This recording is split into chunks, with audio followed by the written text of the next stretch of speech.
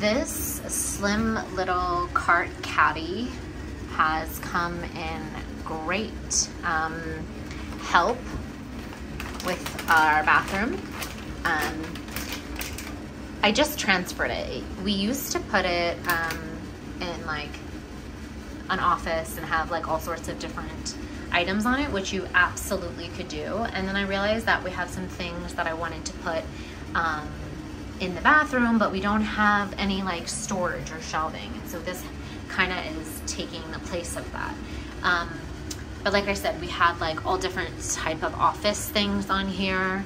Um, and now it's going to be in the bathroom. And I think I'm gonna put some like toilet paper rolls, some like other uh, tchotchkes down here that we need.